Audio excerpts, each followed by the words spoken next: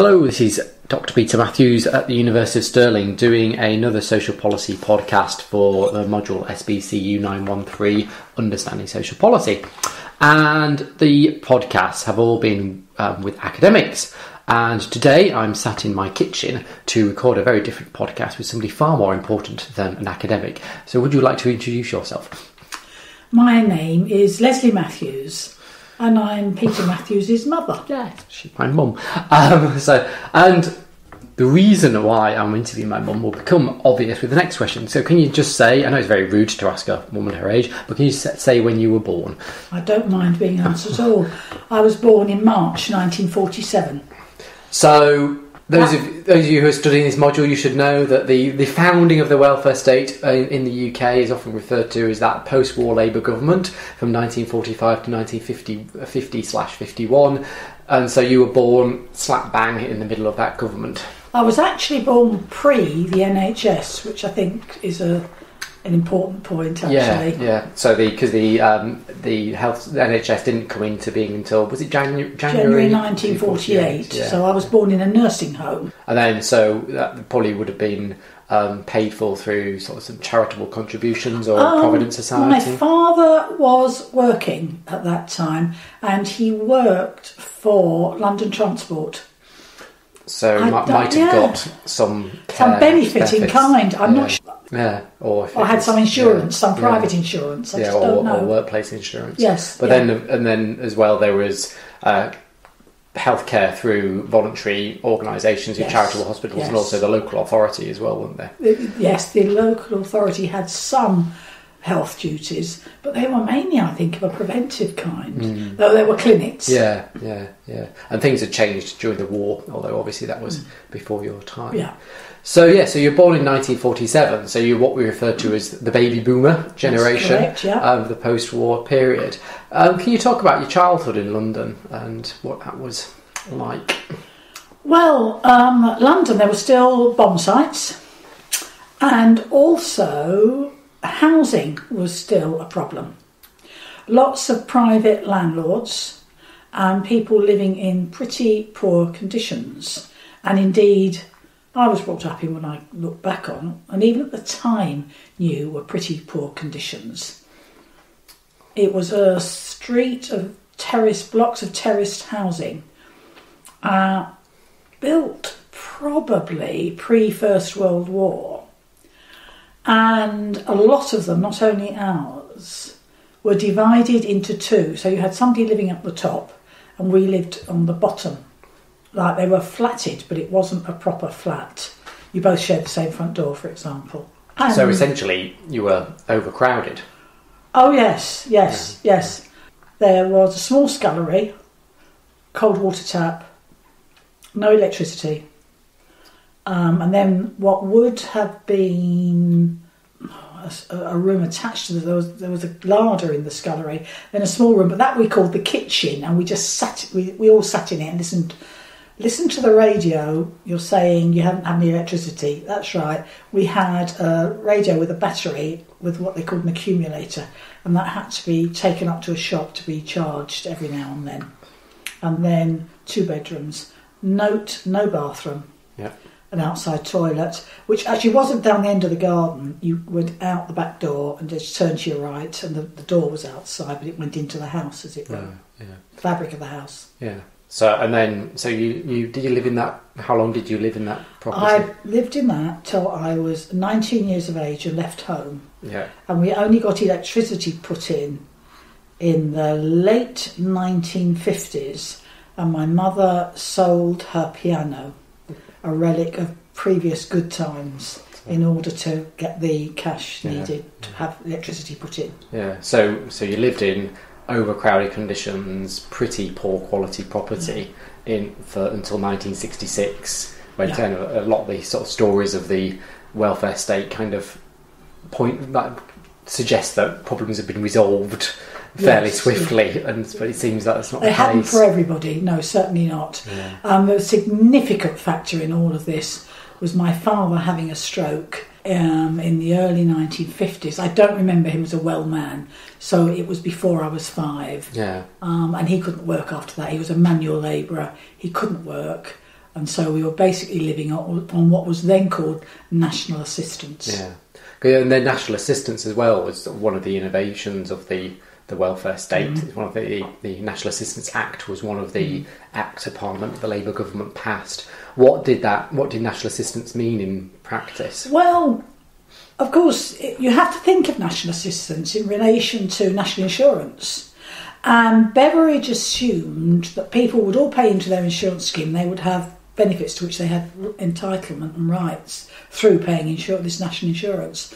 But there was obviously going to be a, a residue of people who hadn't been able to build up the contributions. And we fell into that. It was supposed to be a sort of safety net. Yeah. Well, it was a safety net with lots of holes in it. Hmm. And even in those days, there was the sense of you weren't as good or morally right if you were claiming national assistance. There was a sense of shame about yeah, it. Yeah, yeah. And also in that period, it was uh, with the economy recovering from the post-war, from the war, it was a period of high employment. Yes, so right. actually, for the vast majority of people, wouldn't have been claiming That's right. benefits. They would have been paying national insurance Yeah. on the provi- on the basis that they would never. Probably they, they claim their pension Mm. Yeah, when they're retired, absolutely. but not actually claim unemployment benefits that's or the other benefits Yeah. that were available. Yeah, that's right. Yeah. So, so that sort of that conditionality that we find going right back to the poor law Mm. Yeah. is still there Yes, in that post yes. post-war. Absolutely. system. Yeah, it's a thread that runs through from 1601. yeah, yeah, yeah. And then, sort of, so national assistance provided your household with the main income. Yeah. What did that mean in practice? Well, then? I don't know the exact amount. I do know our rent was very, very low. Um, and well, you would say what landlord could honestly claim a lot for what we were living in, but rents were controlled. And the other big act that I do remember having an impact was the 1957 Rent Act, which meant if your landlord improved, and we'll put improved in inverted commas, the property, he could legitimately put up the rent, Mm, which basically meant in our case he took out the old black range, which was in the kitchen, which So we sort all of sat Victorian round. style Yes, range. yes, old yeah, black yeah. range. You had to black lead, yeah. Yeah, Um, where you could boil up some water on it. You wouldn't Yeah. have to use the gas cooker out in the kitchen. Um, remember, we didn't have electricity for the electric kettle. Um, and put in a gas fire. yeah. And that was counted as an improvement. Yeah, it was counted as an improvement. Yeah, yeah. But I suppose to be to be fair on the Conservative government who introduced that rent act, that was because rent controls meant that landlords Yes. weren't investing Yes, in their properties. Absolutely, they couldn't afford to. The landlords Yeah. were saying there was an element of truth in, in what, well, more than an element of truth. It was true. Yeah. We're not getting enough income from our houses to be able to invest and improve them, and we want to improve them for our tenants. So much as we might, even today, with the issues of housing, we might want rent controls, but there are Yeah. costs Yes, to doing are, so yeah, that you yeah, experience. yeah, yeah. So your rents were very low. Mm-hmm. Um, Then, so what? What the money that left over after you paid your rent? What kind of lifestyle did that leave you to live? Oh, pretty poor. Um, new clothing was unknown. Um, so it was always hand me downs. And I had an older sister, three years older than me, who's now sadly dead. But that stayed with her to adulthood. How can you shop in a charity shop? You know, we had to put up with all those hand me downs. And I can. So it was actually hand me downs from other people. It Yes, hand me yeah, downs from within the family, within the family mainly. But I do remember once, it's a very clear memory, that um, the early days of national assistance, you went up to some office in Ealing to collect it, and they must have. Some of the staff must have thought, "Oh, this is a bit sad, isn't it? These poor families." Must have hearts of gold, and there was clothing you could get. And my mother got for me a maroon coat, child's coat, with what we called a highwayman's collar. It was been fashionable at that time. And on the one hand, I was very proud of this. It was probably in re- decent nick, I have a vague rec- recollection. But I also would walk around thinking, the child that once had this might see me in it and might come over and say, You're wearing my coat. Mm-hmm. So. Uh, Is that everyday shame of poverty? Yes, Yeah, yes, that yes, it of was. grinds yeah, you down. Yeah. Yeah. and also the only reason we had decent meat was my uncle, that's my mother's brother, um, was the manager of a butcher's shop in Mayfair. It's still there, Allen's of Mayfair, very high class butcher shop. So we got a Sunday joint, and which kept us going Sunday, Monday, Tuesday, and then sausages, I think, and mince later on in the week Yeah. to keep us going through that. I think Al, there wouldn't have been a lot of, or what meat we would have had would have been pretty crummy Yeah. um, if it wasn't for the fact that we were getting that. But under that National Assistance Act, if you were getting regular support in kind, as it was called, if that was known by National Assistance, they would have docked my mother's, my, my father's benefit. yeah. Yeah. So you were living, looking over your shoulder all the time. Yeah, yeah, yeah. And you've talked to me before about when you got a TV. Oh yes, So yes, when yes. was that then? Well, it was the late 1950s, I seem to recall. My father, disabled working class man who only had ever known work, that was pretty awful for him. Um, uh, and so he used to go to the cinema every afternoon. Hmm. But cinemas were closing down by the late 1950s. Um, And my mother must have been able to read. Oh, she also worked on the side, by the way. This uncle who gave us the meat, also, she cleaned his house for him. Well, him and his wife and family. Again, that was all on the side. So she must, and she was very good at managing money, my mother. She had to be. All her life, she'd never known anything other than poverty. It was either that or you were in terrible debt. We never were. She managed to scrape together enough to rent a television. But you, you also had an annual visit from the National Assistance just to check up on your circumstances. A mother lived in fear of this and said, if they're coming, I've got to put, she'd, she'd put a, um, a blanket over it, you know, to hide it. If they see I've got a television, they'll, they'll be suspicious that I'm getting extra money. And actually, somebody had, must have told on her because she was angry, I remember after, and she said, somebody, they asked me, did I have a brother who lived on Southdown Avenue? And she said, no, I, she said, I could say, no, I would never tell a lie. I don't have a brother living on Southdown Avenue. It was quite true. And she knew they were fishing for, somebody said she goes out every day, because that's what she did. She went out every day to do this cleaning. Yeah. So, so basically, in the contemporary discourse of benefits, she was a benefit fraud. She was, She yes, was she was, the yes, yeah. to make ends yeah. meet, It was yeah. the only way to keep your head above water if you were respectable. And my mother Yeah. was very respectable and had aspirations for us. Yeah. And it was a source of anger from my father and bitterness that they couldn't provide in the way they wanted to. They had Yeah. these two children and two daughters, and they wanted them to have nice clothes. They Yeah, wanted yeah. them to. Yeah. Um, in a society with growing affluence as well. Absolutely. There was a photograph of me and my sisters when my dad was well, my mother and my sister. I'm in a pushchair, so it has to be before. And we'd gone to Butlins for a week's holiday. Imagine that. Mm. That would have been the very early 50s, probably about 50, 1950. Yeah. And yeah. um, my mother once saying when I was a bit older, you know, it's not your father's fault. You know, if if he if he was only well, we would you know it would have been better for us. Yeah. Yeah. So yeah. So we sort of painting a pretty grim picture of the post-war welfare state here, of sort of living on national assistance being really tough, Mm. Yeah. really difficult experience of poverty, very poor housing conditions. So very different to a lot of the rosy Oh, pictures yeah. that are portrayed. Yeah. But the welfare state did benefit you in terms of the 1944 Education Act Yes, in some ways, didn't it? So because you, you yeah. went to grammar school. Yes, I did. Yes, I, Yeah. I, I passed the 11 plus, and my mother was delighted. She told um, the old woman upstairs who didn't have children, "Oh, you know, Lesley's passed the 11 plus. My sister hadn't." That's another story about division of siblings. Oh, Lesley's passed. Well, why are you so happy? You can't afford to send her there. And there was again some truth in that because you had to have the uniform.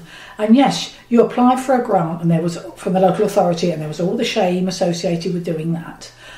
But I remember my sister would been leaving school at 15. Her blazer was royal blue. My blazer was going to be navy blue, so my mother dyed it. She got a badge, you had to have a badge on the grammar school from a neighbour whose older daughter, now having left the school, can we have the badge off it? And that was sewed on.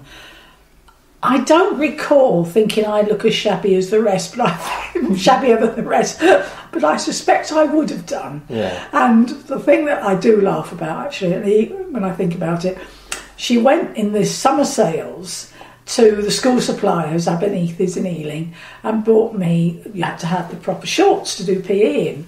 You'll grow into them. Children of that era, these shorts came to my knees. I was still wearing them at 16, they still fitted. And I used to say I would have been good at the high jump. I got over the bar. the, the, the shorts didn't. The Yeah. shorts knocked the bar off. Yeah. How much I rolled them up around the waist, like a great sausage around the waist. So I can remember that. Uh, so yeah, so the the education was there as an opportunity, but even then, it's sort of just these came with a cost. were in, it came and I a say, cost, yeah, it was and difficult. the woman next door to us, she had six children. The two boys had left home. She had four daughters.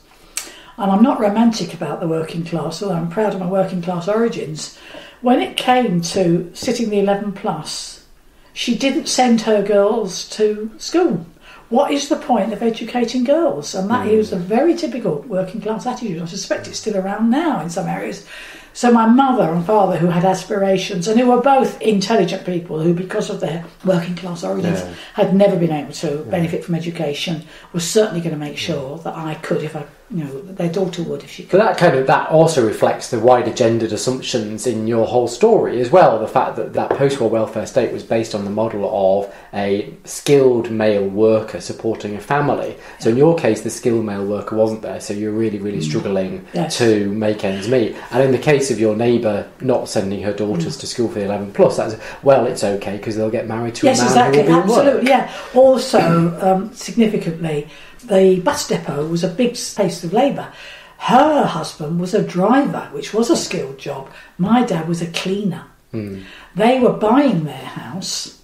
We were just renting. Yeah. So the, the, these are the subtle differences. I'm conscious that you teach at a Scottish university. Remember, I'm talking about London, England. Yeah. And though I don't know how much these things pervade also Scottish life, and perhaps in the big cities they would have. But certainly that was very significant. And what you mentioned about Scotland, it was true there, and from my own research, I know that of um, particularly when the deindustrialization first began in the 1960s with the sort of change in industry, and it was it hit the low skilled workers first, Yes, and you yeah. and the, in Clydebank around Glasgow, Yeah. you got growing. It was one of the first areas in the UK to experience growing unemployment Yes, yeah. in the 1960s, and they couldn't didn't really understand why. It was because these very low skilled industries, food production, Yeah. some of the very low skilled jobs in the shipyards were just going because Yes. they were being replaced by machines, Yes. and so people were being thrown. Yeah. There, there wasn't the Yes. work available in the local area. Yeah. So that was true in Scotland as You're well. right. Okay. So, so you you went to your grammar school hmm and you got your A levels. Eventually, yes, yeah, yes, and yeah. then went off to Manchester University. I did, yes, yeah. So you managed to take advantage of that post-war expansion in the Yes, higher yes, education I as did, well. Yes, yeah. I did. I did. Yeah, yeah, yeah. Something I know made a huge difference to my life, Yeah. and in terms of being able to look back on it with a sort because I did social policy at Yeah, university, yeah, yeah. so I'm able to get some sort of intellectual distance from it, which my sister, who became a hairdresser, never did. Mm. But that was interesting. Most of the girls of her era, including the ones next door, you just went down the Great West Road and got a job in one of the factories down on the Great West Road. But my mother again had this thing: you can have a skill that you can sell. Mm. You know, so trained to be a hairdresser, which was a job my sister didn't actually like. Yeah. Once she could give up, she did. Yeah. Um, but it was the idea from my, I know my mother's point of view. You could end up being the breadwinner, and if you're the breadwinner, you're better off having a skill than ending up being a cleaner like me. Mm, mm. So I know that would have been consciously thought of Mm, behind it all. Yeah, yeah. And then, so you did social policy or social administration, Mhm, as it was mhm. known. And then, um, what what did you go into then after your social? Um, I knew by then I wanted to be a social worker. Social work was expanding. Um, there was going to be the changes in legislation in I think seventy two, but you could get you could get in work as what they called an unqualified social worker. It horrifies me now, but that's what I did.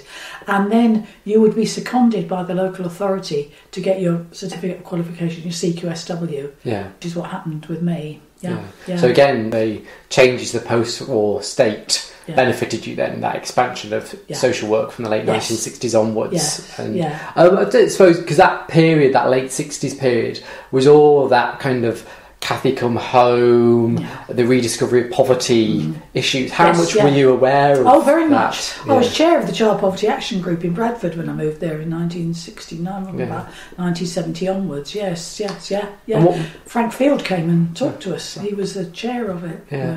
So, what was the what was that poverty like then in the late sixties, early nineteen seventies in Bradford that you were experiencing? Um, well, there were still quite a few back-to-back houses. I mean, the local authority was so just to down. so just to explain, they were Yeah. one up, one down. So basically two or two up, two. Two, two up. You had downstairs. You had one room, and this what they called the cellar head kitchen. Yeah. So you would have a cellar, and then upstairs two bedrooms. But then the fa- fact was you had two of these houses. In, Yeah, they were in terraces, back. but they're back Yes, to back. yes, they were, Yeah, yeah, yeah. so you had yeah. effectively had two rows of houses attached Yes, to one another. yes, yeah. yeah, So they're very very small. Yes, yeah. Um, and single parents, and they were a growing number, Yeah. were still extremely poor. Yeah. And, also stigmatised, stigmatised, stigmatised, definitely yeah. stigmatised. Yeah. From I mean, all that stuff about the swinging sixties, forget it. There was still a huge stigma Hmm. about um, being an unmarried mother. Yeah, there was still a lot of poverty, and Bradford had some. Well, a lot of local authorities, these large council estates, some of which would have been fairly newly built, but they didn't have central heating. Mm, yeah, yeah. So the sort of things we take for granted were very cold. And people had their, and I I did have families where they had their electricity cut off Yeah. because they hadn't paid their electricity bill. So you had children living in houses where it was lit by candles. Yeah, yeah. Really dangerous. Yeah. And um, did you, uh, Bradford? Uh, most people know of it, or it's one of it, has a reputation for the in-migration of people Mm. from Pakistan in the ni- from the nineteen forties onwards. Did that growing diversity of the city In- impact on your practice as social Um, worker? well, in the early 70s, the pattern had been in the 60s single men coming over and working in the mills at night. Hmm. And some of them, in fact, I did have one family, would take a wife over here, white, yeah, um, wife from, from the working class. And so that was certainly from the early 1970s onwards. And then the mills started closing down. And then they started bringing wives over from Pakistan. Hmm. Um, and that continues to this day. And hmm. the pattern now is one partner would have been born and brought up over here, the other one's brought in from the Mirpur. yeah, yeah, yeah. So. To sort of go- go back to the timeline then, so you were in hmm. Bradford in the 1970s. And then when did your mum eventually get a council property, a council oh, house? Right. Well, there was the formation of the Greater London Council in the early 1970s. I'm trying to remember, was it 1974? Certainly the early 1970s. As a result of that, small London boroughs were amalgamated. My mother had lived, was still living in that tiny little bottom flat with the old lady still above. She'd been widowed by then. With my sister, actually. And that was Ealing, which was a Conservative borough. It amalgamated with Acton and Southall, which were Labour boroughs, and so they had both invested in council housing. And so my mother was finally offered, having been on the council house waiting list for probably over 20 years, offered a two bedroom flat in Acton, which she moved to. Just, she wasn't on the top floor, she just under the top floor. She loved it. She was an advertisement for tower block living. She adored it. The views out, the lightness, the airiness, bathroom and separate toilet. Well, because we always had a separate toilet, but it was outside the house, of course.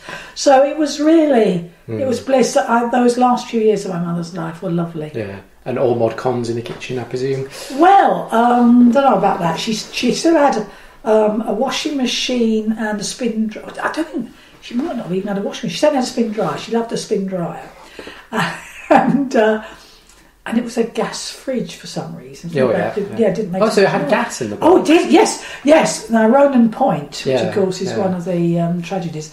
But Ronan Point was built by sort of blocks of concrete, and somebody had, they had gas in it, but somebody I do remember it all. It happened.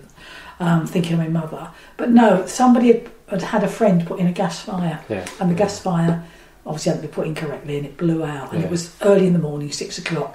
So that corner of the the block that fell down, um, a lot of people were not killed because they weren't up yet Mm. for work. So, so you, so your mum got the council flat. Mm. Um, also, I believe the block of flats is famous. Oh yes, if you watch Only Fools and Horses, the credits at the start which I think are Nelson Mandela House. No, they're not. They're Corfe Towers, South Acton. where your mum lived. Um, and then your first uh, flat with my dad in Bradford was also yes, a council flat. It as was, well. yes, yeah, yeah.